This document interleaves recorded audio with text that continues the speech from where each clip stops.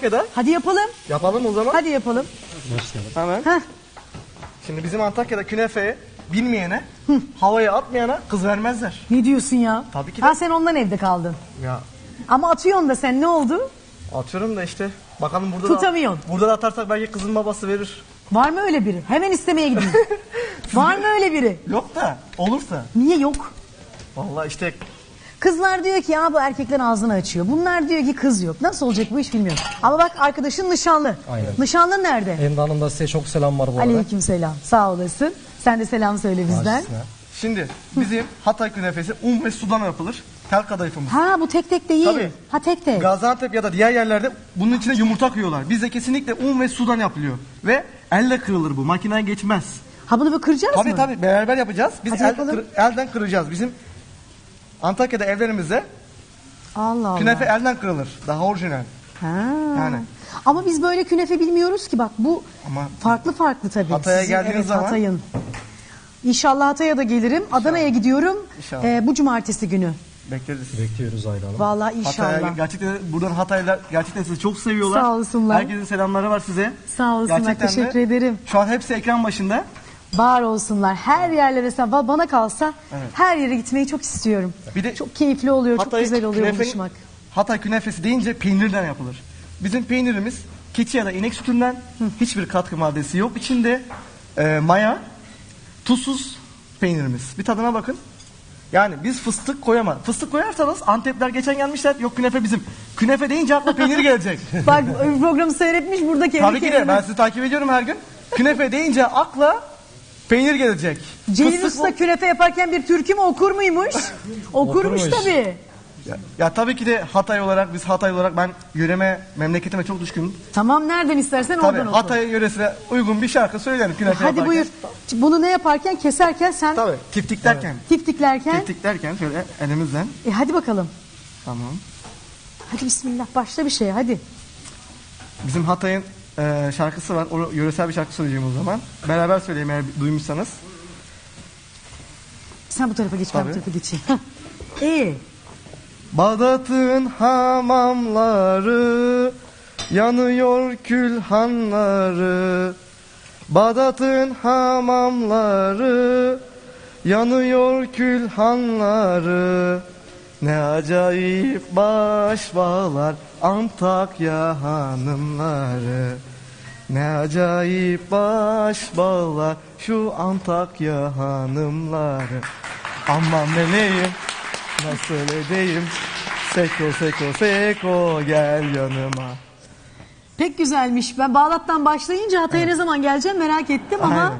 Ya bizim mutfağımız sizin niye bağ, başları nasıl bağlıyorlar? e, Hatay biliyorsunuz önceden Suriye'ye bağlıydı. Ha, 1939 yılında biz Atatürk'ümüz sağ olarak olsun. Türkiye Cumhuriyeti'ne bağlandık. Evet. O yüzden biz kültürümüzü, milliliğimizi, ayımızı, bayrağımızı daha çok seviyoruz. Daha çok içimizde Yaşa- yaşıyoruz yani o sevgimizi. Hepimiz. Vatan sevgisinin içinde yaşıyoruz. Hatay daha çok iller açısından. Belki o evet sonradan Hatay'ı da kattık Aynen. vatana, yurda. Tabii ki de. Tabii onun özelliği belki biraz daha Bugün de farklıca 18, hissediyor. e, bugün de 12 Mart e, İstiklal Marşı'nın kabulü bu arada. Biliyor musunuz Mehmet Akif Ersoy veterinermiş. Bana da sabah babam söylüyor. Ben hiç bilmiyorum dedim ya. Ve biliyor musunuz çok para vermek istemişler. Bir ceket alacak parası yokken demiş ki ben bunu vatanım milletim için yazdım. Asla para kabul etmem.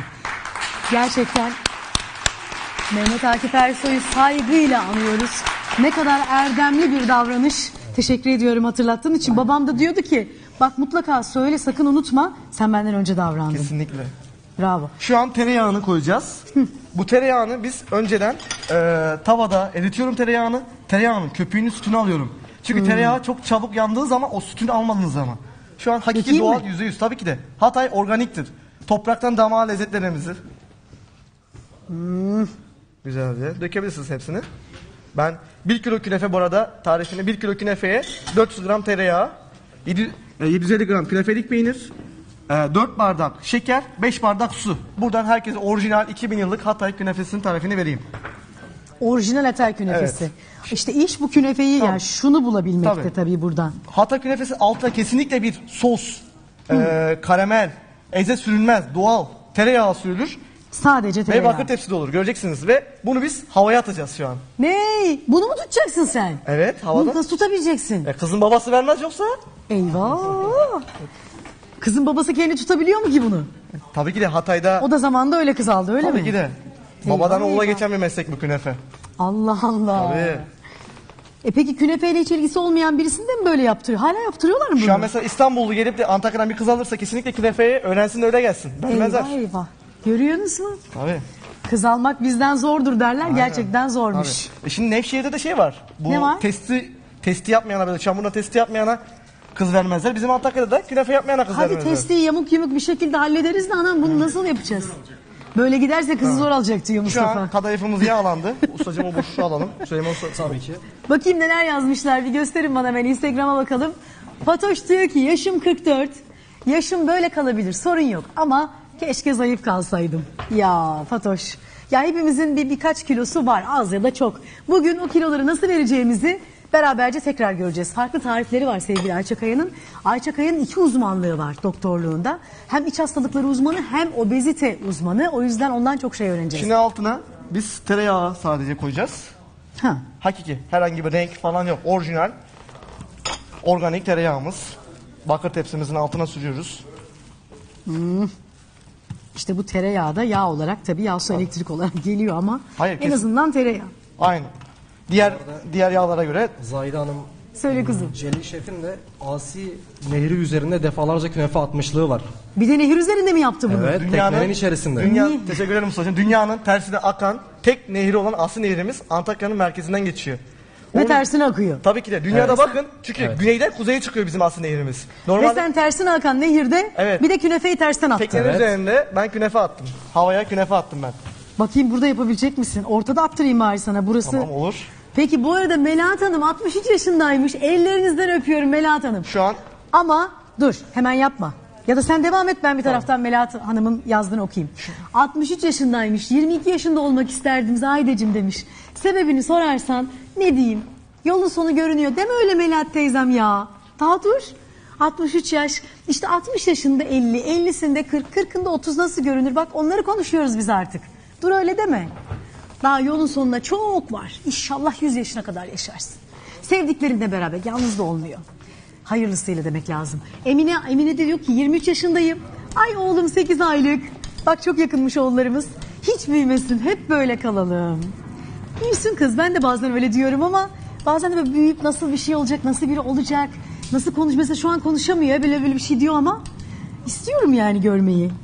Sen seviyor musun çocukları? inşallah zaten en büyük hayalim Heh. 3 tane çocuğum olsun. Üç tane. Evet. Hanımın haberi var mı bundan? Vallahi Daha kabul et- hanımı bulamadın. olsun kabul edecek yani 3 tane çocuk istiyorum ben. Allah Allah. Kabul edecek. Kabul edecek.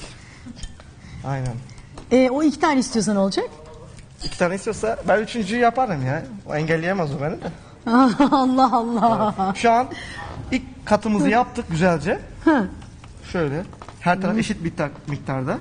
Bir taraf kalın bir taraf ince olmayacak. Ay erkekler için ne kadar kolay. Üç tane istiyorum, beş tane istiyorum. Sen istersin tabii. Ama bakacak olan erkek. Ben nasıl çalış- bakacak ben olan çalışacağım. erkek? ekmeğimi- Emzirecekmiş gibi konuşuyorsun. Nasıl Abi, bakacak olan erkek? Ya şimdi bayan, bayan kadınlığını yapacak, erkek erkekliğini yapacak. Bayan evde oturup yemeğini yapacak. Nasıl evde oturup Çamaşırını yemeğini yapacak? yıkayacak. Biz evde bak ki mümkün varsa çalışacak, parasını kazanacak, yemeğini de yapar. Tamam. Sen de yardım Ben edeceksin. ev hanımı istiyorum mesela. Niye? Ev hanımı olsun bana hanımlık Ha. yapsın. Ben de erkeklik yapayım çalışır para kazanır getiririm Ha, yani. üç gün sonra hanımı beğenmemeye başla da bak ben seni ne yapıyorum. Yok yok. Ev hanımları ne kadar tit- te- temiz titiz ev işi yap yap yap. Saçını süpürge et. Üç gün sonra Şimdi bu Antakya'mızın tuzsuz Bak, mayalı bak, Cevap peyniri. veriyorum bak. ha. Tuzsuz mayalı peynirimiz. Senin kız kardeşin var mı? Yok biz üç erkeğiz. Annemin üç tane erkek çocuğu var. En büyüğü de benim. Annen tabii çalışmadığı için sen öyle görmedin. Evet öyle görmedim. Ya çalışan bir de bir şey söyleyeceğim. Şimdi erkek çocuğu ya da kız çocuğu fark etmez. Anneye bir şeyler soruyor, cevap vermek gerekiyor. Kendini yetiştirebilen ev hanımlarına şahane, harika. Ama çalışan kadına çocuk daha mı böyle şey yapıyor?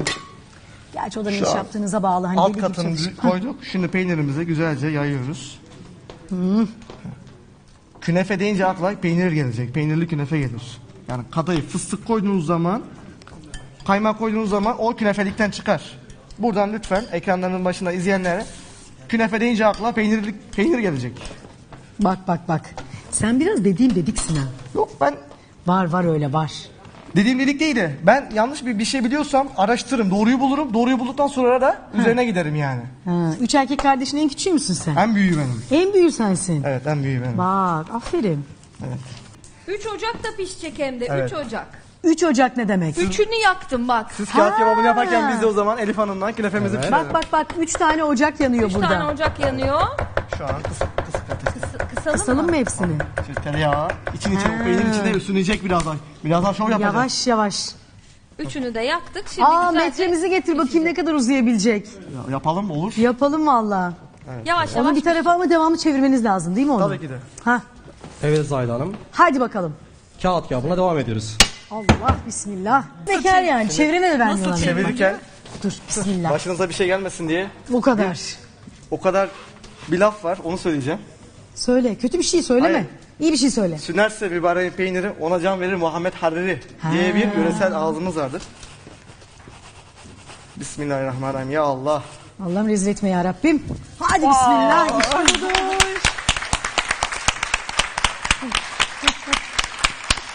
Ha, Şimdi bunu bir kere daha çevirsek mesela nasıl oluyor? Bunu bir daha şimdi bir altını da pişireceğim. Sonra bir kere daha çevireceğiz değil mi? Onu da Yok. Mustafa çevirsin. Tamam olur ama yapamaz. Yapar belki ya. Mustafa ne diyorum duydun mu?